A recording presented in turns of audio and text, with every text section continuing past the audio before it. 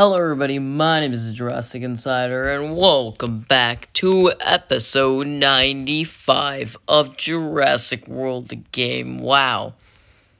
Five more episodes. Could you believe it? The last mi- major mile, I mean, minor slash major milestone there is until we, we're there. And then once we're there, it'll be like none of this ever happened. It's gonna be, um, it's gonna be strange. I mean, I don't know. At first, I was just really, really excited, and now I'm still really excited. But I'm also like, wow, just bewildered. but uh, it'll be great. It will definitely be great, and we'll have a lot of fun. So for right now, I'm gonna be starting a new thing. This is gonna be even after episode 100. This is gonna continue on. And it's this new thing I call Maxed Out Monday. So Maxed Out Monday is basically going to be a new sub-series. It's still going to be part of the same series, still the same episode count and everything.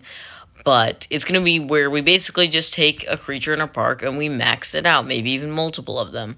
Um, and I think it'll be a fun, you know, cute little idea uh, that will um, that'll work for the purposes of this, and at least you know get some productivity done in our park. Um, and I think it'll be something to look forward to. So yeah, uh, we're gonna continue that and uh, do that in today's episode. So today's episode of Maxed Out Monday is gonna be none other than the Tapejara. We've been kind of wanting to get this guy maxed out for a little while now, actually.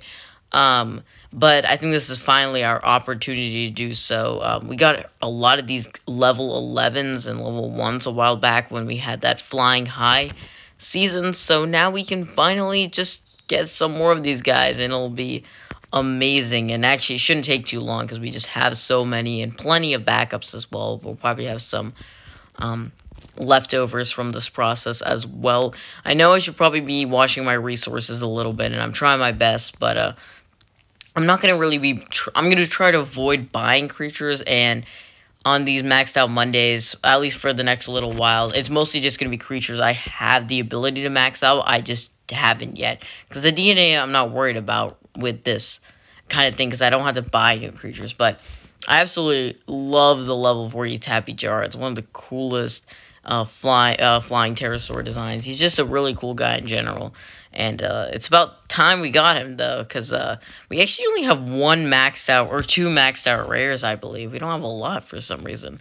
So uh, finally, we're going to get there with the Tapejara. There we go. And uh, there we go. Ladies and gentlemen, that is the maxed out Tapejara. He's going to come in at 428 and 134 attack. Wonderful. Did you know that the Tapejara is 12 feet long? That's longer than the biggest boa constrictors. I can believe that. Believe me, I can believe that. And we're, um, we're you know, we're getting there on the season pass slowly and steadily. Where we're a badge. What is this badge? Pterosaur expert. That's five maxed out pterosaurs. Now let's see where he stacks up. So hopefully he'll be somewhere eventually. Oh, we actually have Pyraptor too. I forgot about him. He's apparently a lot better than these guys. So Tappy Jar doesn't seem to be as strong. He's definitely uh, boasting the health factor, at least compared to Tyrannotide, and his attack isn't too bad either. So I think he'll be very, very good, and it'll be a nice aid to our journey. And of course, we didn't really have to spend that much um, of any resource to really get him because we got them all from the season pass, which I got from doing just random missions. So it's honestly a pretty great investment, you know, just kind of free little guys. So uh, yeah, that's it for this one. I'll see you all next time. This is a Jurassic Insider signing out.